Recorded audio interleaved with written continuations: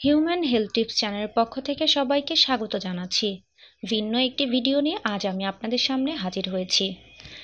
বিশ্বব্যাপী আলোচিত মরণঘাতী corona virus এতে আতঙ্কিত না হয়ে সচেতন হতে হবে আমাদের। আমাদের সচেতনতাই বেশি দরকার।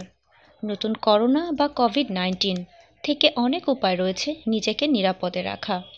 ঘন ঘন আমরা আমাদের হাত জীবাণুমুক্ত করার জন্য অ্যালকোহল বেসড রাব ব্যবহার করা, যেমন হ্যান্ড স্যানিটাইজার, হেক্সোসল অথবা সাবান দিয়ে বিশ সেকেন্ডের সময় নিয়ে হাত ধুতে হবে।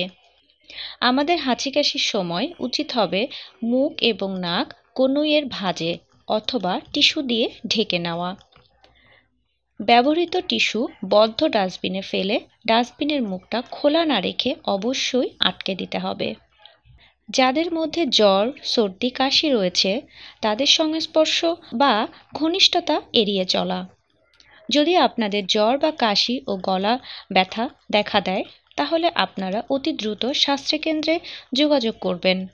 যদি আপনাদের হালকা শ্বাসযন্ত্রের রোগ দেখা দেয়, কিন্তু অতীতে এই সমস্যা হয়নি তাহলে সতর্কতা, সহিত সকল নিয়মাবলী অনুসরণ করবেন এবং যতদিন না পর্যন্ত আপনি নিশ্চিত হচ্ছেন যে আপনি সুস্থ হচ্ছেন, ততদিন পর্যন্ত নিজেকে বাড়িতে আবদ্ধ রাখুন।